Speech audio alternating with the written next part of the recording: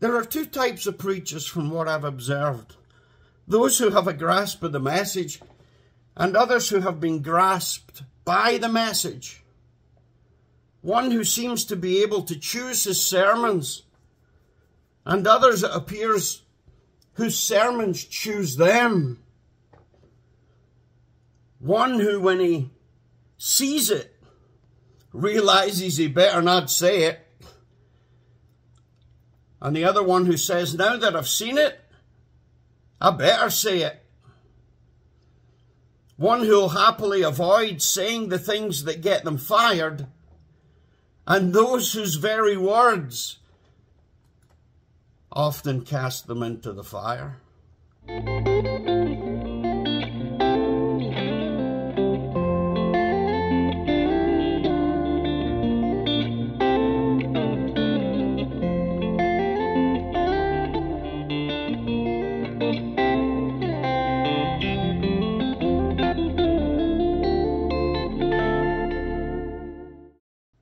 Genesis 40 and 41, I realize both chapters combined presented a little bit of extra reading, but if thousands have given their lives to protect and preserve these words, surely we'll find little cause to complain about reading them.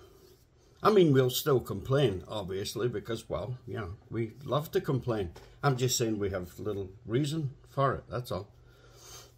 The narrative, as you'll have witnessed, is Joseph's coronation, his passage back in from the wilderness and into his promised land, his resurrection from the pits of despair and death, his chaos finally being subdued by order and order from the highest location, the journey from his banishment from Potiphar's garden to, by comparison, being ruler over all the earth is somewhat complete chapter 41, verse 41. So Pharaoh said to Joseph, I hereby put you in charge of the whole land of Egypt. Then Pharaoh took his signet ring from his finger and put it on Joseph's finger. He dressed him in robes of fine linen and put a gold chain around his neck. All that's missing is the fatted calf. Did any of you read this without the parable of the prodigal son ringing in your ears? So it's the great reversal the exaltation of the humble, the last becoming first, the servant becoming master, the least becoming the greatest. Joseph, upon entering Pharaoh's service at age 30, reminding us again of someone else we've likened Joseph to on numerous occasions. Joseph um, goes on to have bestowed upon him the name that is above every name, save Pharaoh's name itself. You shall be in charge of my palace, and all my people are to submit to your orders only with respect to the throne, will I be greater than you. And having had his clothes snatched away from him by his brothers and then snatched again by Potiphar's wife, Joseph would now find himself clothed with royal apparel. Joseph would rule, seated at Pharaoh's right hand with all authority having been given to him while Potiphar and his wife and all other enemies he might have had now being placed under his feet. He who was, he who could be trusted with little was now being trusted with much. So, Joseph, still in prison, welcomes the arrival of two new inmates the cupbearer and the baker of Pharaoh, suggesting perhaps that Pharaoh had been poisoned by something he ate or drank, and they couldn't quite determine precisely where from. whatever it was they'd done, it, it was enough to land them in jail. Um, but that one is ultimately reinstated and the other executed, it appears they eventually discovered what had happened. Say what you like about the thief of the cross, whilst we're on the subject. but he's he's the luckiest man in history, right? When you've been found guilty and sentenced for execution, when you find the final hours of your life draining away faster than any second you'd ever experienced, and when death itself finds no real reason to mask its ugliness anymore and your mortality is visibly taunting you, when you practice practically have no time left, and even if you did, you're in no position to do anything with it.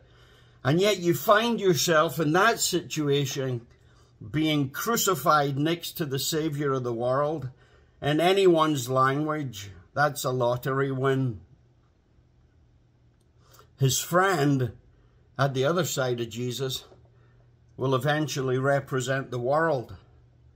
Those lacking the good sense to see our salvation even when it's stuck in the ground right beside us. And just like these two men at the cross, the cupbearer and the baker find themselves on either side of Jacob, uh, either side of Joseph, one headed toward life and the other headed toward death, an execution and a lottery win. Joseph was only 17 when he first began meddling in the dream industry, when he first involved himself with predicting the future and fortune of others. And how had that worked out for him? How had interpreting dreams worked out for Joseph? How had being the one who was speaking for God, the one entrusted with carrying God's light to those in darkness. How had it all worked out for him? Joseph, the example of Joseph and people like him, is why we find so many cowards in life. I think we learn very quickly that our mouths can get us into all kinds of trouble.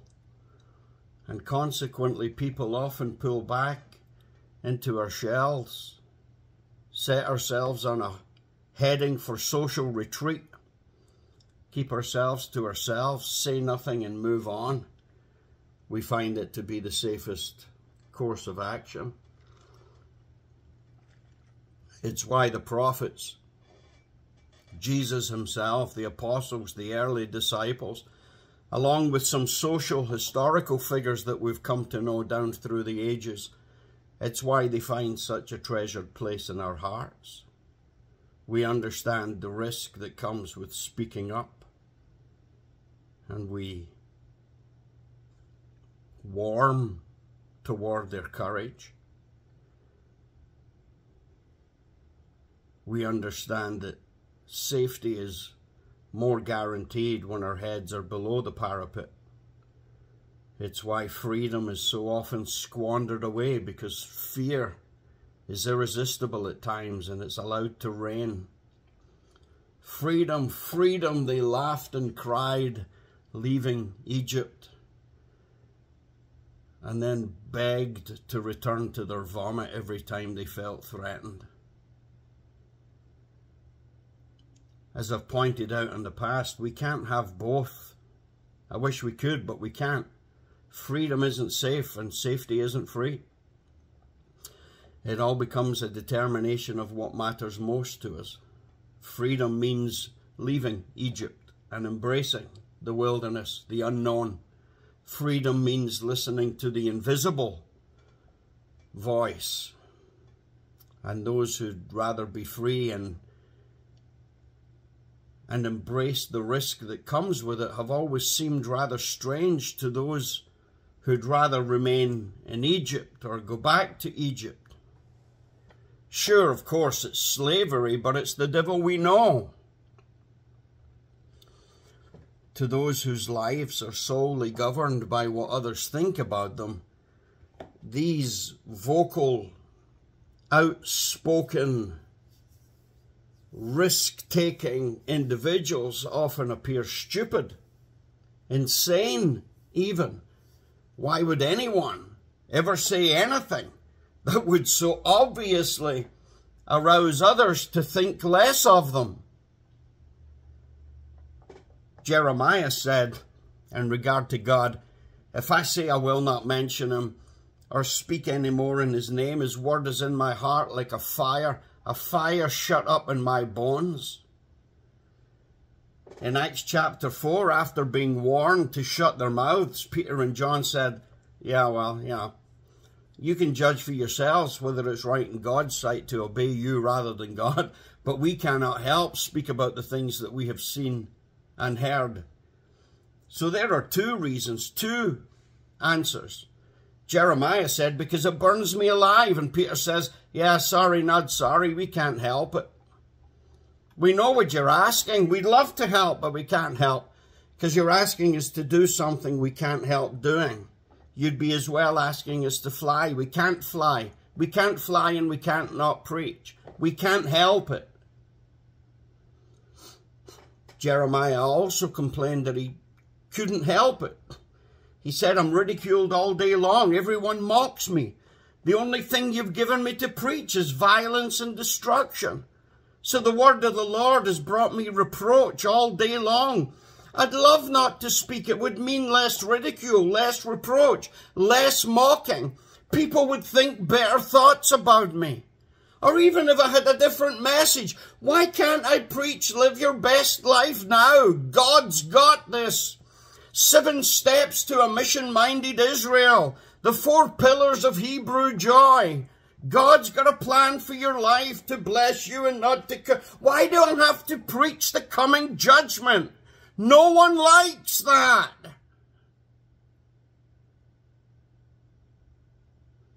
So I'd love nothing better than to be quiet, but every time I do it, I'm on fire. There are two types of preachers from what I've observed. Those who have a grasp of the message and others who have been grasped by the message. One who seems to be able to choose his sermons and others it appears whose sermons choose them. One who, when he sees it, realizes he better not say it. And the other one who says, now that I've seen it, I better say it. One who'll happily avoid saying the things that get them fired, and those whose very words often cast them into the fire. So we have forgiven Joseph, who when upon hearing about the dreams of the cupbearer and the baker, we'd have forgiven Joseph if he'd simply pulled the blanket back over his head and went back to sleep.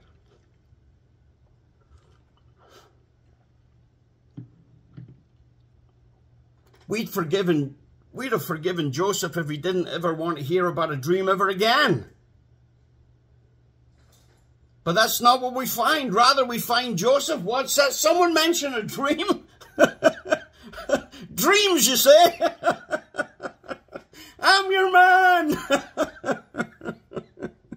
I'm telling you, these people can't help themselves. You can't shut them up. In fact, the people that I'm talking about, any move towards shutting them up only emboldens them further. It's fuel to their flame. To those who prefer hiding under the bed of life, that appears as insanity. But these people can't help themselves. I think I think it comes from a clearer than average understanding of when all of this is over, I'm not going to be standing before you. So truth be told, as much as you, I love you, really, I couldn't give a hang about what you think. I'm not going to be giving an account of my life and what I said or didn't say to you. So up comes the cupbearer and tells Joseph his dream. And Joseph replies, Ah, yeah, the three branches are three days.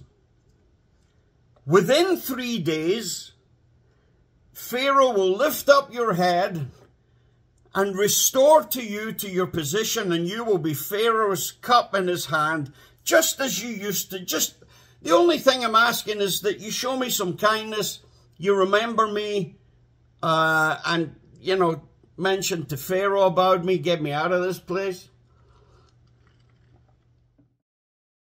And upon hearing this, the baker obviously thinks, Oh, you beauty. Hey, Joseph, Joseph, Joseph, I have a dream too. I have a dream too.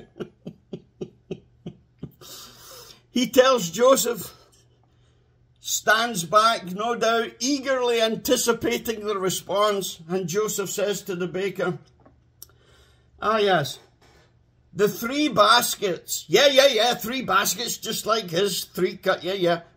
The three baskets are three days. Yeah, yeah, yeah, yeah, three days. I heard that about, yeah, yeah, I know where it's gone. Within three days, Pharaoh, oh yes, within three days, Pharaoh, yeah, I know, will lift up my head. No, no, will lift off your head and hang you on a tree, and the birds will eat away your flesh.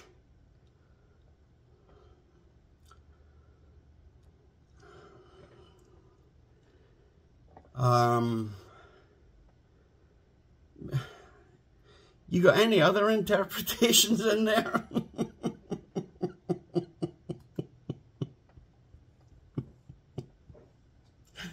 oh, be careful what you ask. Now, what follows are three days of excitement from the cupbearer, excited about the prospect of getting back into Pharaoh's good books receiving a nice salary, spending time with his family again,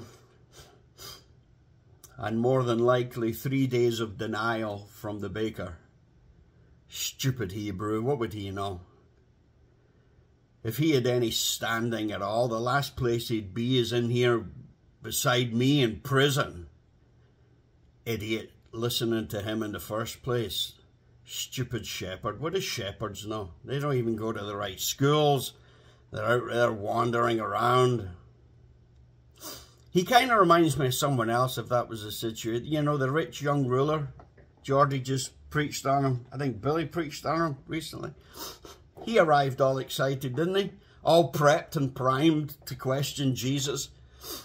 He had every qualification under the sun to warrant such an approach. Wealth, youth, position and by all accounts had meticulously paid close observance to the law. Until Jesus said, What's that under your saddle? What's that you buried under the oak tree? What's that you're hiding under your tent? Oh, that, oh, oh, I thought my youth, my position, my prestige would have blinded me, would have blinded you to all of that. No, that's nothing. Don't tell me it's nothing. If there's one thing I'm fully qualified to recognize, it's the gods, and you have one. Go get rid of it. And of course, off he went, disappointed. Poor fellow. Could probably spot and name every heathen god within a thousand miles. But his own,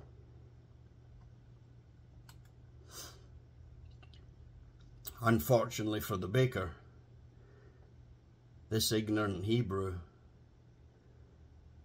is batting a hundred. He's bang on.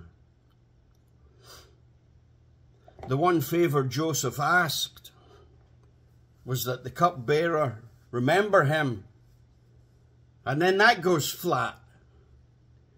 So when the next dream arrives, Jesus, Joseph's got even more ammunition to ignore it, more reason to ignore it. But not Joseph. What? What's that? Dreams, you say? Pharaoh's got a dream? Oh man, give me a crack at it. Let me at it. Let me at it. and that brings us back to where we started. Joseph's wilderness wandering is all but over with but a few loose ends to tie up when the famine eventually forces his family down into Egypt, which, if you don't mind me recognizing, is what the Promised Land is actually all about the reuniting of the family of God. And when they arrive, then it truly is. The wilderness is over. The family is reunited. Thoughts, comments, questions?